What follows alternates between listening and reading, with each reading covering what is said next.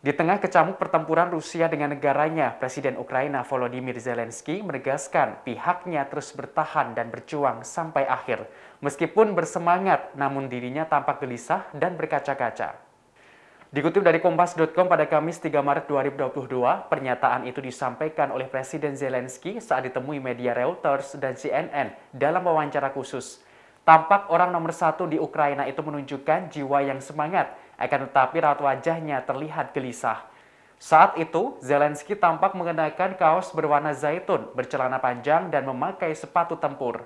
Saat ditanya aktivitasnya belakangan ini, Zelensky menanggapi dirinya terus bekerja untuk Ukraina dan tak lupa juga menggunakan waktu untuk tidur.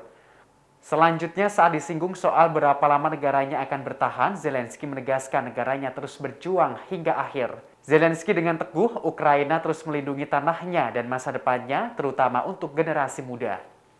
Presiden Zelensky sempat menunjukkan kondisi perasaannya saat membahas penderitaan masyarakat Ukraina akibat agresi militer Rusia. Ia juga terlihat sedih lantaran sudah beberapa hari tidak bertemu dengan keluarganya, terutama anak-anaknya.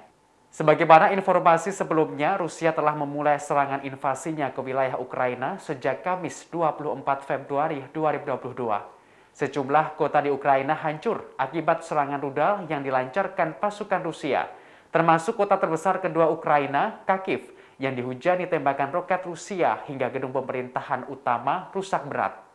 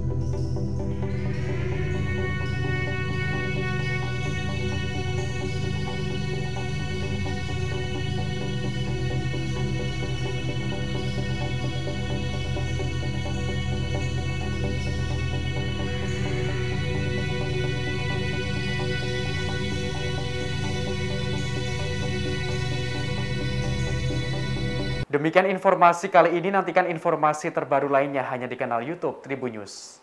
Terima kasih sudah nonton, jangan lupa like, subscribe, dan share ya!